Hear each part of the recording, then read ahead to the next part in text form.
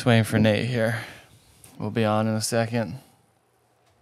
Are we recording? Oh, we've done the clap. It's official. It's well, the audio and video is now synced, and we are in a new location. Oh no, wait, we've shot here before. One second. Okay, episode 14. I don't know, man. You're the one that doesn't want to put numbers on the episodes, so I I'm so lost. Can't even count. I keep trying to tell Nate, let's number all the podcasts, and the titles don't even have enough room. Uh, This is the weirdest theories. Long They're titles. great. Long, Go, all doing a super caps long titles.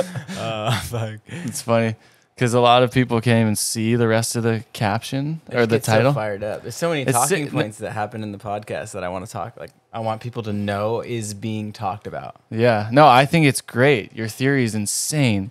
Because I was trying to like shorten them and make them look like, like not all caps. Uh, because I was watching other podcasts, and Nate's like, "No, we're different than them. We go all that's- caps. that's it. Max out the letters on the titles. Yep. Because you, to, to me, this is the thing with the podcast or any content nowadays. So many channels, so many podcasts, they're all becoming copycat, replicated versions. Put them on the assembly line, print them out in a factory. They're all the same. And when you see the same thing, the same curated setup, I feel like you're like, these guys are just going to talk about the same things. They're going to talk about how they're so wisdomatic and they're working on being self self centered and this and and I'm giving greater my all desires. And I'm like no mm. that's not it. That's not it. You guys are doing do your do your self mental work you need to do. But like to me I'm like bro it doesn't seem that hard to like not put all that time and energy into something to just get out of the house live your life work out have fun with your friends Yeah. drink all night if that's going to be a hell of a time. Like don't don't stress on am I doing everything right to be mentally okay. But I, I- get for some people it's a lot harder. Depression is real. We're not saying it's not real, but Yeah. this whole trend is just uh, it, it like hit YouTube two years ago. I felt like where everyone was like, "Oh my god, I'm gonna get my morning routine wired, and I'm gonna drink lemon juice, and I'm gonna wake up and do 18 ice baths before eight o'clock, Yeah. and then I'm gonna." Take on the day, and I'm gonna eat shit for eight years and be a billionaire in two. Like, I yeah, it's just it's just like people are following what goes viral and what gets views, Yeah. and it seems to be like, at least it seems like yours is, but mine is too. Like all motivational quotes, the same quotes from just different people copying each other, and then the same like get rich business hacks. Like, Yeah. oh, buy this apartment complex in North Dakota, rent out every room, live in the bathroom on an HOA fee for a year, eat shit, and like you're gonna be wealthy. I'm like, I mean, maybe that worked for the person, but I like Yeah. doubt the people that are saying everything out there are actually yeah, doing what they say. It's fun. It's just the internet. Like ev- fads come and fads go. Like That's it, Right now, sure. it's.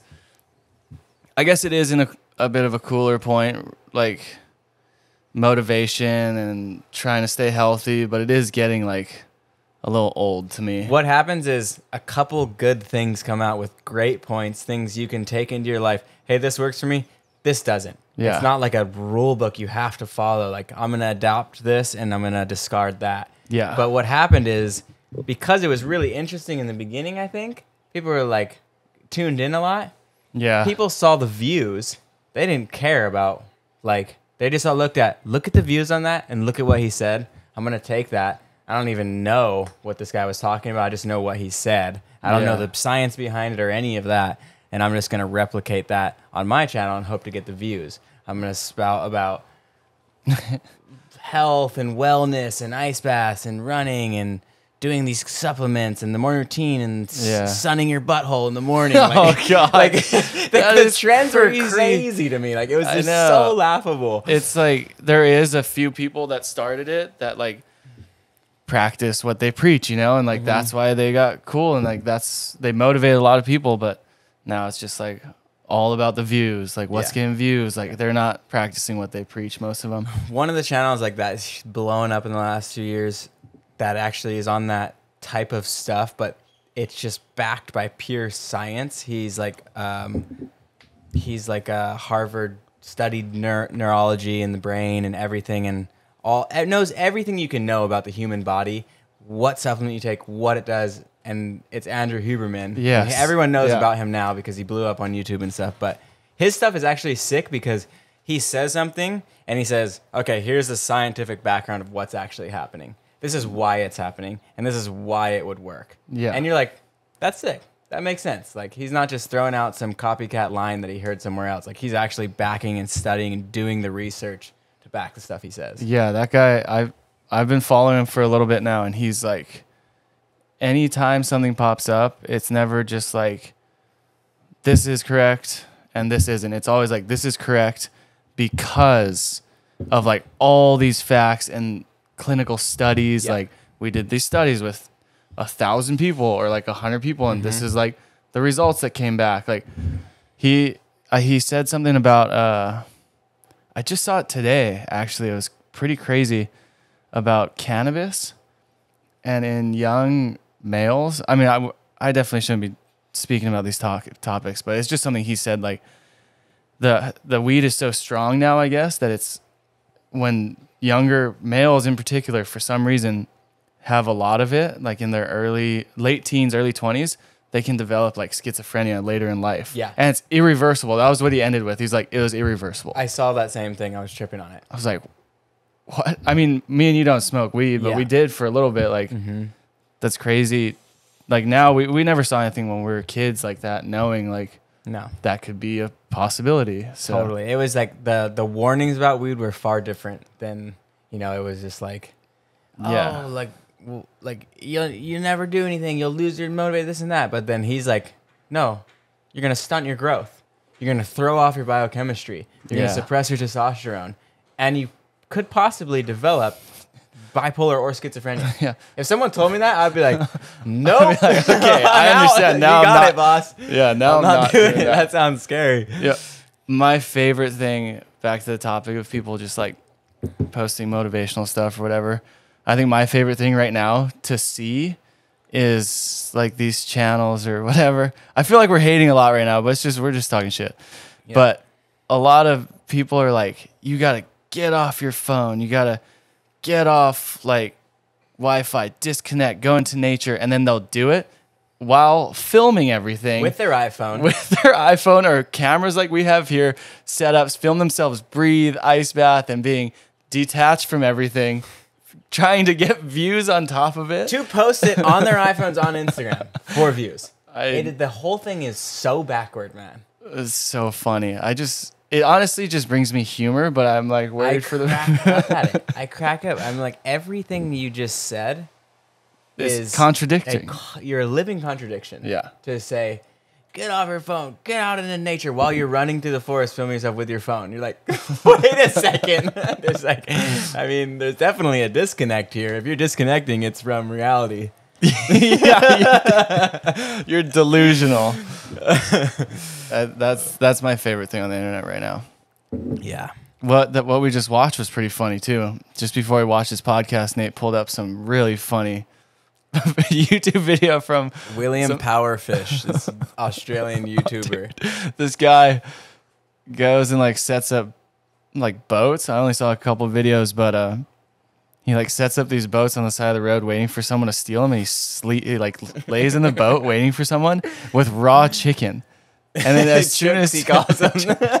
as soon as someone steals the boat, he just starts throwing raw chicken at them. It's and the so one guy crashes his car He's into a so tree. So freaked out by getting hit in the head. A literal full raw chicken bouncing off the top of his head. I wonder if he like kind of knocked him out a little bit. he drives straight into the tree. He drives straight into the tree.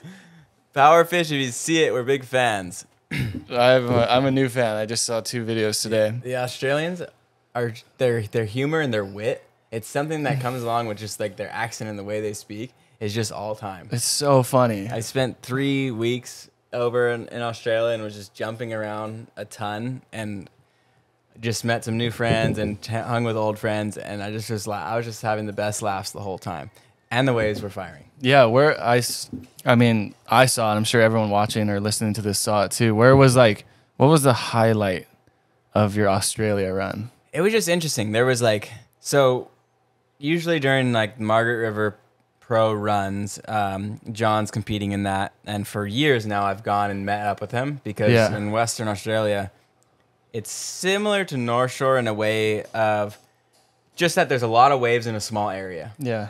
A lot of really sick waves. You're his good luck charm. at least won that contest so many times. Yeah, yeah.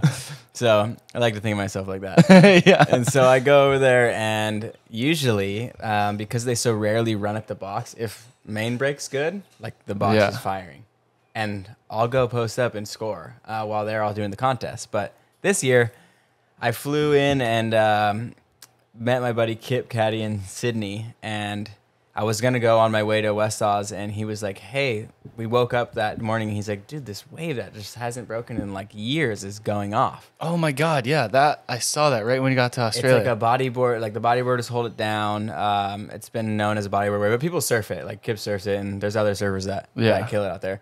Um, but I just woke up. I'd never even heard of this wave. It's called Shark Island, and I'm like, well, we're in Australia, Shark Island. That sounds um, terrifying. because- Fitting. And they're like, no, no, no. It's, a, it's like a something in the way the land shape or whatever. It's like, oh, looks like a- sure. yeah. Sure. well, oh, uh, yeah. I had something to say about this session that's really funny uh, along those lines. Um, anyway, the wave was like just day one of the trip. Couldn't believe it.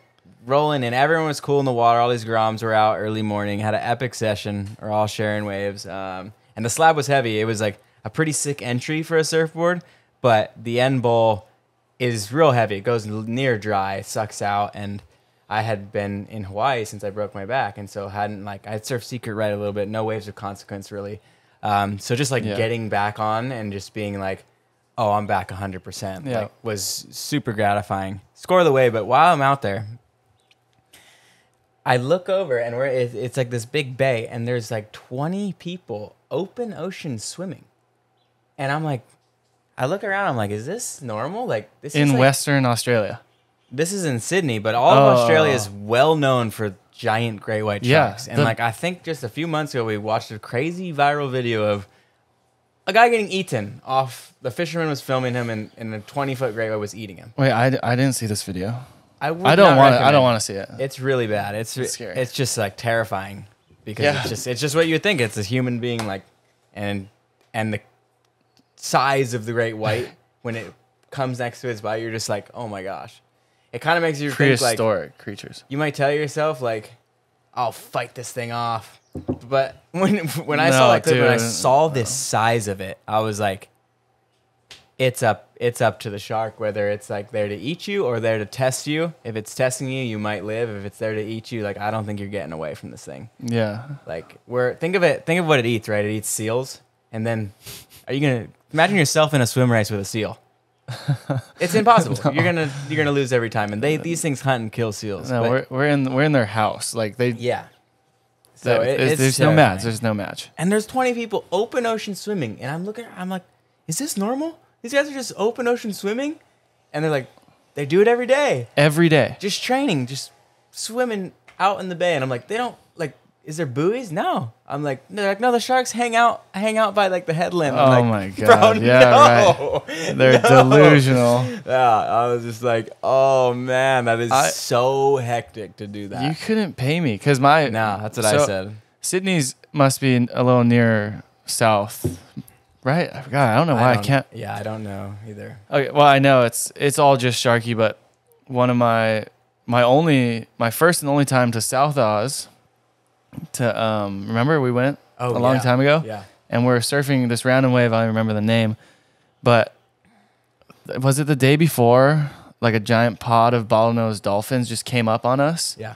and they, I thought they were sharks at first. Like, oh, just great white shark. You go to a gas station, there's, there's just like a massive 15 foot stuffed great white shark, Literally. like just everywhere. So it's just like embedded in your brain. You see a fin pop up, and luckily that one was a dolphin, or that whole pod was a dolphin.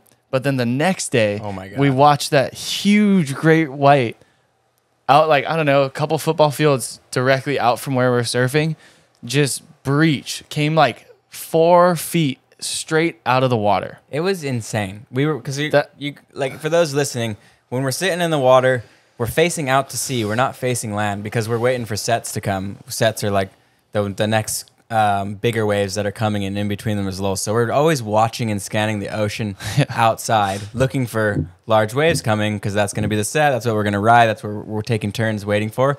So our vision is out, and just all of us blatantly like just not that far away, like a giant white belly, black back, vertical breach great white. Just it was almost like surreal and fake looking the way it came vertically out of the water and then just straight back down. Yeah. Like it didn't like flop crazy. It just went like whoom, whoom. And we were like, what the hell was that? it took me a second to like panic. Like I remember watching it, just being like, "Oh my, that's that's a great white It's shark." like- yeah. it's outside of the water yeah.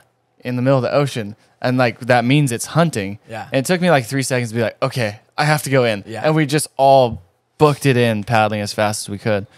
But I think um, the day before it was almost scary with the dolphins because they popped up. Only one popped up at first, and it was like a thousand pound bottlenose dolphin, which is huge. And I've never been that Huge. close to a that big of a dolphin before, and I thought my life was over because Yeah. it looked like it was coming at us, and then its buddies popped up. Yeah. I was like, oh, my heart was like sank. I thought I'm like, oh, grunt noise. death. I was like, You're like, oh, you're like, Ugh, oh god, I'm gonna get bit. it's over. I'm already dead. I'm gonna fight this thing, Yeah. dude. That, but that was a that was the only time I think I've ever seen a great white. But yeah. Oz is it's spooky down there. It's super spooky, and and yeah, Western Australia is even more so. There's been there's been attacks. Like obviously, we put ourselves at risk. We're out. We're going in the water, and yeah, maybe you could. That's the oven if you want to press a button, Jack. I think Mahina showed up too. You can tell her like Oh. we can cut stuff out. Oh, did she? Did she go in the room? I Oh, think she.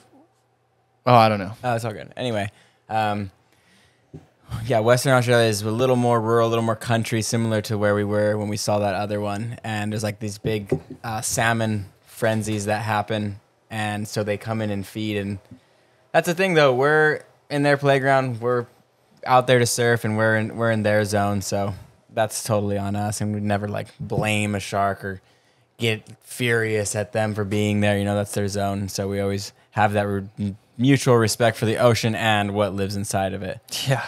But um, speaking of Big speaking of scary things in the water, I go from that session to Western Australia, fly overnight, literally 24 hours in Sydney, and on, in West Oz the next day. Box is huge. It's a wave there, just to the the right of uh, Margaret River. Paddle out, and it's just pumping. John came out, and so uh, was soaked to surf with him. We catching a few waves. I go on this wave and get airdrop and get lipped going in. Oh, and, no. and I'm like, you know, like you just like when you get a few fun ones at a heavy slab, you start to like you just forget that it's a heavy slab. Yeah, you kind of get comfortable and yeah, relax. you get comfortable, and I, and I felt that way. And then Yeah. I fall, and I'm going over the falls. I'm like, oh, it's all good in the hood. I'm gonna just cruise right over. all of a sudden, like I land, and it's violent uh, in the turbulence, and I'm like, oh man, no control in my spinning. yeah. Picked up again, and I'm coming down, and I land on a coral head, like one of the most terrifying falls I've ever had, and my the bones are still bruised in my butt. I landed like on my butt on a coral head, like like it was On the hole. yeah. Oh yeah. my like, God. And luckily, like my legs were up, man. Like I landed on it so hard. At the same time, a side turbulence like brushed me off, but it thumped off. And I just made this like horrible noise underwater. I was like, oh! Let go all your oxygen. yeah. I laid in the channel for 30 minutes No. and and just just like the whole this like you can imagine the worst feeling ever. Well, and Worst we- case scenario. it was so funny how quickly I went from so fired up, I'll go on anything out here, it's not that big, to to absolutely put in my place, terrified for my life, feeling my wetsuit was ripped. John's like, "What are you doing? You're not catching waves." I'm like, "Bro, like I can't talk I've right been now. violated.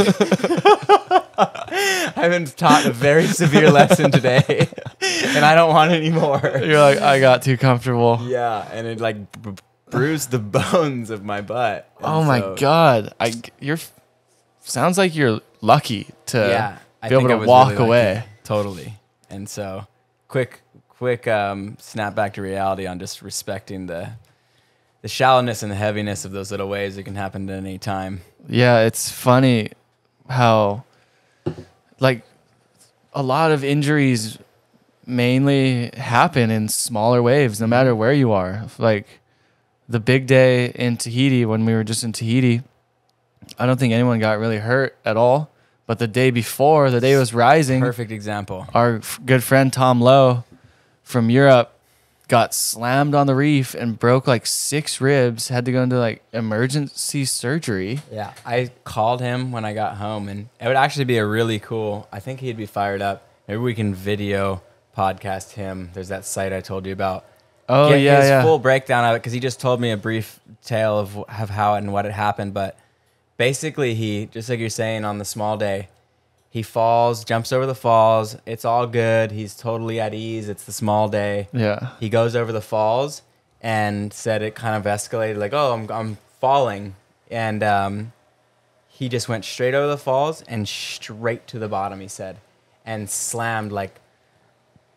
I was like, did you know right away if you were injured? And he was like, I knew right away it was horrendous. Like, I hit really hard, and he's like, I felt things happen. Oh, and I was like, oh man, like, this is real. Like, okay, no panic. Like, get back on your board he got washed over into the lagoon Uh-huh. and there was a there was boats out there but that's the thing right is like the next wave comes someone else goes like no one paid attention Yeah. he washed into the lagoon and he said he tried a wave but he just his he had broken six ribs and his scapula and Oh my and no one God, saw him Tom. wave and he was like oh man someone will come in like i'm gonna rest here on my board he said and he put his head on his board and he was just drifting I don't know how long went by, but he said no one came, and he's like, okay, it's on me.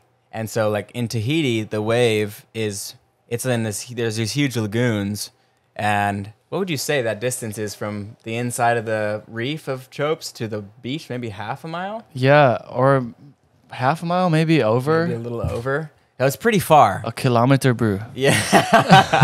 and uh, so he paddles in on his own, and he said it was just he was just extreme pain. He had no other choice. no choice. He he's like, I gotta get to the beach. Gotta get to the beach. I can't wait for anyone. Like this is bad. Like something's. He said he couldn't breathe properly. I bet. Couldn't inhale air with uh, his ribs shattered. And They little cut his organs up, right? Did he know? Yeah, it was like. So no, I guess his um, lungs were okay. If it, it had breached his lung, he would have died. I think probably in the lagoon, because he would the blood would have filled his lungs. But the Oh, ribs breaking God. themselves tore up the tissues around them. It sounded like, and it, Yeah. his body was filling with blood. He gets to the beach. The ambulance is on the other side of the river. He, with the help of two guys, walks over the bridge, gets in the ambulance, goes to the Taravao Hospital, and he said, just random chance out of luck. No one was speaking English. He gets to Taravao Hospital, and there was one doctor there that spoke English, looked at him, and was like, oh my, you are messed up really bad. And X-rayed him or something? Him. Yeah. And so if he had taken the ambulance from Taravao to Papeete, the main town, they're pretty sure he would have died. He would have bled out. But they medvaced him. And Jesus. he said that he was like, they're getting loaded in the, in, in the helicopter, and the captain spoke, and he's like, yeah, first time in a helicopter, man. And so Tom said he was looking at the guy like, you, you, you just, thank you for talking to me, but like, I'm in no place to talk. Like in his head, because he said he couldn't even respond, but he was just like, I'm, I'm touch and go here. I can't. I can't imagine. Yeah, thank God he fucking He's alive. He pulled it off and he's on the mend. He was walking around when I called him. This is like obviously like a week later, but they did emergency surgery. They drained the blood and then gave him more blood. Um, and he was all fired up because he's like, I got Tahitian blood in me now. Oh my god, dude. it's all time. He's such a positive human. yeah, he's, he's, so a funny. He's a legend. I can't. Yeah, it's just. I'm so glad he's okay and alive because Me too. I heard that and couldn't. I was like in disbelief, like Yeah. that. Something that's how crazy the ocean can be because you think it's these massive days Mm-hmm. that like will hurt people or people are, are severely injured, which it does happen, but majority of the time it's it's a lot of the smaller days. Yeah. So you just always have to. It's as soon as you let your guard down with the ocean, I feel like, That's it. is when you can get injured because you get so used to just surfing, like, oh, the sandbar. All day. It's small and mellow, which is like normal. And then next thing you know, oh, you just like rolled your ankle or your knee or like cracked a rib. Mm-hmm. And there's like- like, so there's a saying here in Hawaii, and maybe it's elsewhere too, but it's like we were always told never turn your back on the ocean, Never. Yeah. and it's it's meant like literally as well as figuratively of like never, like you said, get relaxed or turn your attention away or, or think you've got it all Yeah. under control in the ocean because the ocean is always going to overpower you at some point. But also like never look away and from your surroundings and stuff because as soon as you do, that's when it happens. Yeah. Seriously, it it has that invisible power that a lot of people who aren't used to it cuz say you just someone just gets here from even just the mainland who's been in the ocean a couple times in like California or or something there's this like invisible power here especially on North Shore Yeah. There's so much energy even in still water. You don't you could not see a wave. And like say somewhere like Ehukai mm-hmm. the sandbar right next to pipeline is a perfect example because the sand drops off to super deep to where you can't touch Yeah. during the summer. It goes from like knee deep waist deep and then all of a sudden it's like six feet deep Yeah. seven feet deep and you're underwater. And there's these intense like currents that are always moving along the shore. Like mm-hmm.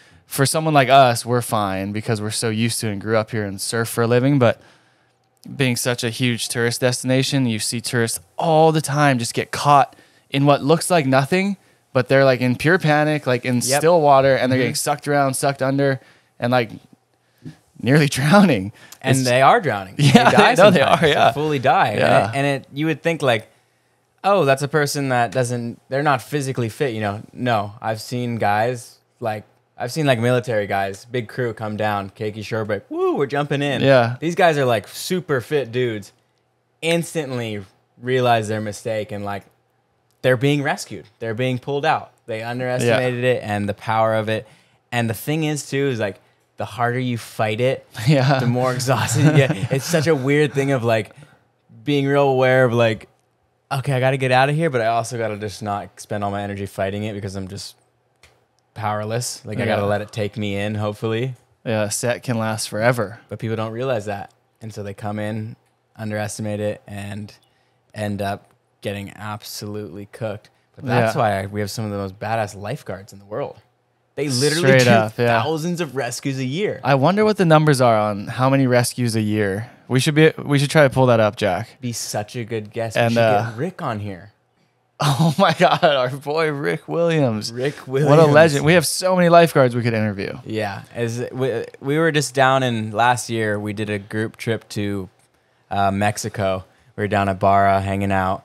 Um, we randomly see our friend and super long time, like full career lifeguard from North Shore out there, and it was just this funny paradox because they're we're out having a hell time, he's having a good time, and then like there's just honestly some of the biggest kooks I've ever seen happening to be surfing as well. Like they just I don't know where they learned their surf etiquette, but like for just a basic example, like if you're going down the wave, you have limited options, right? You can Yeah. either you can only really go one direction at a point break, and that's down the face of the wave. But if you're paddling back out, you don't have the right of way.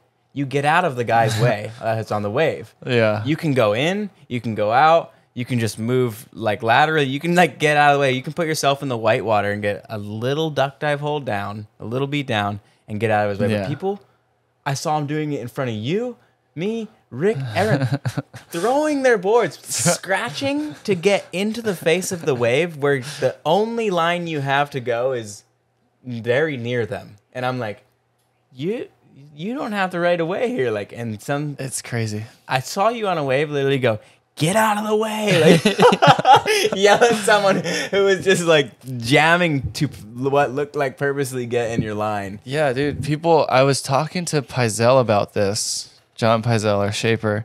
He's probably not gonna want me to tell people about this because I was like, we gotta get you on. Save this for the podcast because he was going off about people just like not like surf etiquette has Yeah. changed mm-hmm. even since we were kids. You know, Yeah. it's changed globally for for the worse. It's not getting better. Yeah. Because like when we grew up, you you uh you get out of the way. Like if you have someone coming down the line, you go into the impact zone if you have to Yeah. to stay out of their way because that's something that's part of like surf etiquette. Yeah. Or like say you're at not your home spot and there's locals out. When you think it's your turn, it's still not your turn. Mm-hmm. Yeah. Whether that's applies for us when we go places or people that come here. I think that was his line. He's like, when you think it's your turn, it's still not your turn. Yeah. I was like, that's perfect because people now are like, oh, they've been surfing for a little bit and they're like, oh, well, it's it's my turn now when it's like they're at some new spot or something and it's like, no, it's it's never your turn when you I've come. seen him just take the "I'm deeper, so it's my turn" rule to the to the extreme. Like that's the hard rule. Like just Yeah. because they end up on the other side, like even though they just caught a wave, that is their turn to go. But there's so many intricacies. Intricacies. That's the word. I don't know. You're the you're the word you're the it. word guy. I, I, I You're the bookworm. that, but um, there is, and We'll make it up. We'll like, make it a everywhere we go. We respect the locals of that given location. Yeah, like, like- Tahiti, where we just were. hey, you're the guy here. Pal around me 10 times. Like, that's, I get it. You're trying to hold down your spot. But Tahiti's a little different because we have been going there for 20 years and we have our level Yeah. of respect too. But any new spot and then any newcomer there is like, you just give way to the locals. And I saw this in the comments um, talking about, or maybe it was on my YouTube. This is, we're, we're going off on a big rant here, but the guy was tripping that about the localism thing and he was like Oh. localism is the lamest thing and and i can't even believe what you said that CT, ct surfers you won't let them get waves at pipe and this and that and and i was just like wow like you just he was tripping on why anyone thinks they can be a local at any one spot Yeah, it's crazy. And- I, I put out a whole YouTube video on localism. I tried to explain it. oh he needs to watch the video Yeah, I mean, we can link the video on the, in the description on YouTube. But I was just saying all this stuff, like, hey, this is just how surfing works, and it's how it's always worked. It's not like nothing against you yeah or the people. Like, I, it's it's so strange that people don't. They they feel offended maybe, and they feel like, oh, I'm it's my turn because I've been waiting. I'm a surfer, yeah and I'm here to catch waves. Like. i get i get their view but it's just different I, d- I don't get it. Like, I mean, I think like they're confused on the part of like that person has spent their entire life at that spot and they feel they have a priority to it, in which in surfing they do. yeah, But they feel like, no, like I just started surfing. I, I thought we're all taking turns every time. yeah, yeah, true. If everyone's guess so. new and surfing a new spot together, everyone's taking turns. Mm-hmm. We've done that at spots when no one else has been out and it's just our crew on a strike mission. Think, um, perfect example, Panama Silverbacks. There was no Oh, yeah. locals out, right? Yeah. We're all taking turns. Yeah, And everyone if, takes If turns. someone who was on a different program than ours, not with our group, comes out, everyone's in rotation. Like, Yeah, but if there was a local out there and he wants to get a few waves in a row, like, bro, you hold down the spot, go. yeah. I Like- that it's. I feel like it's a lost thing. It's Yeah. becoming a lost thing. It's Maybe it's because surfing's becoming so popular. Yeah, it's being mass adopted. Well, and then people just feel very entitled to like, why shouldn't I get that wave? Yeah, and I think And they are not. They don't grow up used to like. It feels like a sensitive subject here in Hawaii, but they don't realize when we're talking about it, like that's everywhere else in the world. It's At yeah. every big major spot, think of Snapper Rocks. You're gonna have Dingo and Mick and all those guys, Parko, Yeah. holding that spot down. Uh, right? Dingo doesn't burn guys out there. oh, we gotta get Dingo on the podcast. Yeah. I was just talking to him. Yeah. But yeah, it's it's the same everywhere, Yeah. like you're saying. And um, so yeah, that was a big rant. But back to our boy Rick, the lifeguard. Um, he had some incident with somebody in the water, and not that they would have known, but they were like calling him a kook, and like they're like, "You're gonna fix my board," after they literally threw their board in front of his line. I remember that. and he was just real down on it. And he's like, "Man, I've been coming here for so so long. I used to surf with the tiniest crowd out here, and now I'm getting yelled at by some young guy." And it's just like, Who wasn't even from there. yeah, and it was he was he was real down, and I'm just looking, and I'm like, none of these people even know. Like this dude has saved, literally saved the lives of thousands of people in his life. I mean, I've I want to know the numbers. Like he we must have him- the numbers. We were like, well, we asked him on the beach. We are like, Rick, do you think you've saved over a thousand lives? And he's like, yeah. oh, for sure, a Yeah. thousand. I'm claiming like maybe ten thousand Like he dedicated his life to protecting people in the ocean. on the North Shore, where people get swept out every single day. Like, think about how many rescues he maybe did mm-hmm. a day in the winter at Pipe. Maybe three a day. crazy. Just boom, boom, boom. Three, Yeah. three Yeah. lives saved. Mm-hmm. And then and then some days maybe like five. and literally to the point where he's an expert in like resuscitating someone. Yeah, Like, they're life unconscious savers. people. Yeah. he's bringing them back to life. and, and I'm like, these guys are just giving them the hardest time. I'm I know. Not that they're gonna know, but it's just like you never really know who you're talking to, right? Yeah, you never know someone's story. Everyone has a story. Yeah. Uh, we, we need to get Rick on just hear. That would be epic to hear, like, when he first started lifeguarding, like, real green at the job. Yeah. What it was like, what pipe was like, what the crowd was like at that time. Localism back then. Yeah. We get my dad on for that one. Yeah. Talk about localism. be big time. That'd be a good video. You'd love that. Oh man. Rick the legend. Okay. What's that Go. Question here from who? is from Parker Alwood. Parker Alwood. Parker Alwood. Parker Alwood. Uh, where do you guys want to go that you have not been yet? I don't even want to tell Nate because he's gonna go there without me. I want to go to Chile. For Uh, me. the the, que- the question was, where do you, do we want to go that we haven't been yet? Yeah. And I said I don't want to tell Nate, but Ko wants to keep secret. I want to go to Chile. I've never been to Chile, and I just feel like there's tons of sick waves there. I've been to Chile. Chile- It's super sick. oh, you've been there? Yeah, Oh, you've been to this other place too. I want to go. I want to go to New Zealand. New Zealand's sick. I want to go to two of those places. I'll tell you where I want to go. Japan. For those crazy. Remember that wave John got a super long time ago? I'm going next week. no, you're not. Are you? Oh my god. the all I was time. gonna be like, I don't care. I'm coming. I'm, I'll I'll drop everything I have to do. I'm going to Japan. Uh, Get a- no, yeah, I It remember just that right. seems so sick. Like, because Japan in general, like, I spent a little bit of time there because we opened some sunrise shacks. yeah, and it's just such an awesome, fun, like interesting place. And it's not third world. It doesn't feel like so. It's like clean and yep. You're not really worried about like the typical like third world stuff like tap water or robbings or like that kind of thing. You got the three things we talked about. I think in our first podcast, or maybe it was our second. What's that? Good food, good waves, and I think it was good people or good nice places to stay. It was one of Yeah, nice two. places to stay. You have those three things, then you're on for a good surf trip. yeah, that's I've been wanting to go there since I saw John's part, and I've heard there's like crazy waves everywhere. But I don't know if that wave, fun. unless it's gotten that good and it just wasn't filmed, but that wave just seemed like such the freak incident. yeah, was that wave you surfed in Australia, Shark Island? Does that get good a lot, or is that like a freak thing too? That, from what I was told, was that it was like it hadn't been that good in a few years. So Really, it looked a little like bit rare. Insane. Yeah, really fun wave. I'd like to go there too. Yeah. Damn. The thing is, like, traveling and a lot of these places, like, everything seems so done. For me, I want to go, and it's so good to surf waves you haven't surfed, but then there's like people that surf them, right? And you still have to deal with them. I still believe there's coastlines out there that are unexplored, unsurfed. You're gonna find a heavy wave. There's gonna be no one around, and like that. That to me is slowly becoming more of like the dream of what I would really like to do. Yeah.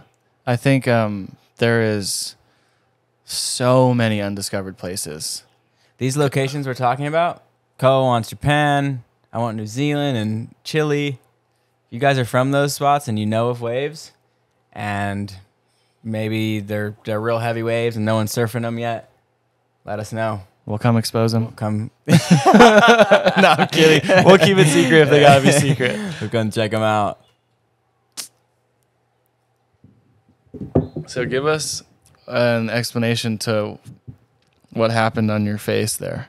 Oh yeah, we just talked about this in the other one too. I know I saw a comment that was like, "Don't talk about sunscreen if you don't know what you're talking about." Oh really? yeah. They're But go on. our sunscreen Yeah. calls. What what happened there? So I have a blister on my lip and a and a thing on my cheek, and crazy because we just came through this whole conversation in one of the last podcasts about sun cancer and sunscreen. And uh, before I was leaving on the trip that I just went on, I had meant to get checked. I hadn't been checked in a few years. I went into the doctor, told him I'm pretty worried. I'm in the sun all the time, and he was like, "Okay, let's look." I had like a so this is what I had in case you guys might have something similar.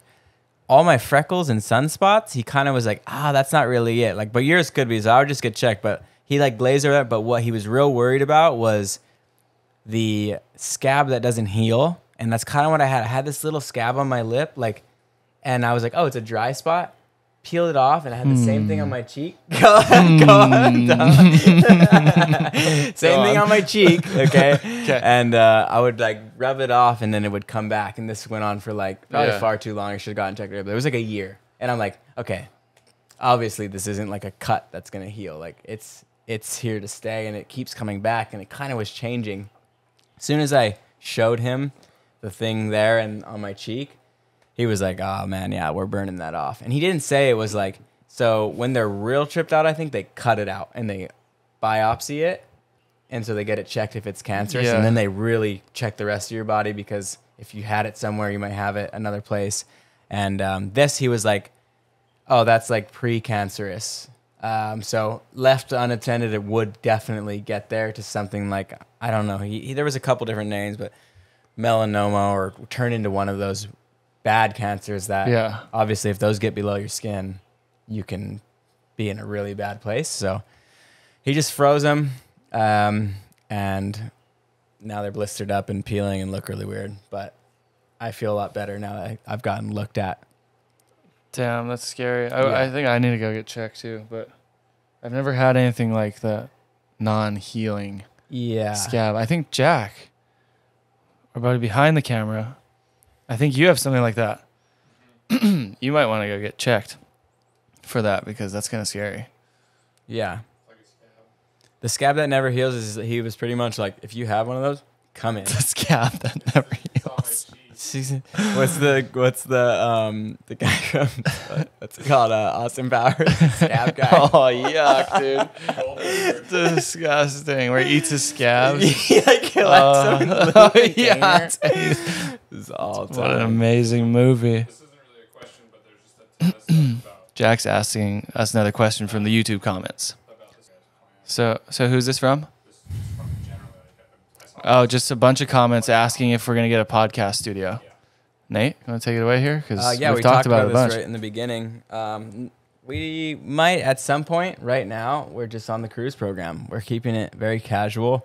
We've literally been doing our podcast in spots that we normally have our like chill conversations at, and so that's Yeah. what you guys are literally a part of. Like, of course, we uh, do big explanations because things we may take for granted, we want to help explain to you guys something you might find really interesting. We don't want to skip over, you know, and things like that are instinctive to us. We want to help get, get the point across. But we do been doing the podcast in locations that just feel like we're sitting down and having a chat, and it feels like some of you guys appreciate it and have realized it is like you feel like you're part of that chat, and that's what we wanted to take you to. It's it's so interesting because Yeah. people are Paul Gomez told me this a long time ago. He was like, all the pro servers right now are so like um, hard to relate with, right? Every interview is the same. Everything is like there's no connect between the fans. But I feel like with the Yeah. YouTube channels, we've we've connected and made that gap. And then with links like this, the podcast, even more so. Yeah. Is certain things that happen to us happen to everyone in surfing. And so it's relatable. We're gonna transfer the knowledge we have that you don't have over. You can learn from this. Yeah. But also just be a part of what we do on a daily basis. Yeah. Like we just literally would probably be doing the same thing right now in Nate's living room. And the last podcast we did with Eli was in my living room. Yeah. So the whole podcast studio thing is, we were thinking about getting like a full studio setup, but honestly, it's like super easy to set these mics up and just sit Yeah. down with us and someone and just talk. I think the casual approach is honestly like more sustainable, honestly, for us. And clearly the fan, like the people watching and I mean, listening and watching seem to like it. So you guys subscribe to the podcast and make, we can keep pushing these things out in our living rooms. Yep. That's it. We'll keep it casual. We'll keep we'll stray, stray away from the corporate curated. corporate teleprompters. um, but uh, yeah, I guess we'll just wrap it up. We're at 45 minutes here. Yeah, So- we could wrap this one up. we got another one coming. Oh wait, will that one have? That one out? might have launched. already. Okay, I think this our our, after our last podcast will be drinking beers live. With Oh everyone. no, that's coming up. I think. Oh, announce Well- announce the idea right now on this one. I, I think this one's gonna drop after, or should we put this one out like tomorrow or something? Oh, because it'll be live and we'll announce that. hmm Or we can wait a weekend. Either way, So, tell them the okay. idea just in case they miss this one we do, and they'll be ready for the next one. Okay, so our idea is I think a lot of podcasters have done this before, like Joe Rogan and Bert and Tom. But uh, we're gonna, me, Nate, and Eli are gonna sit down with a ton of beers, maybe a thirty rack each, so we can see how much Eli actually drinks. And we're gonna we're gonna make it like a little live event. We're gonna do a live podcast with us three, and I'm sure other people will be around to jump in, and we'll just drink beers with you guys. If you guys want to log on and drink beers with us, we'll do a live event on YouTube. a hangout booze cruise. Yeah, so be sure to turn on our notifications when we do these. We'll probably post about them in our like little YouTube chats or on the comments and stuff. So that I think that'll be a really fun way to connect with everyone because there's a live chat as well. The live chat's gonna be huge. So even if you guys don't drink, tune in with your freaking bubbly water and um, get in that chat. And uh, be we'll be responding to questions. Um, We're getting hammered. whatever, whatever. I'm sure there'll be lots of talking points happening in the live. we could get canceled. it's easy to do nowadays. I know it's so easy. Everyone's very sensitive. Yeah. So with that, we're signing off. That's it, you guys. Another podcast in the books. See ya.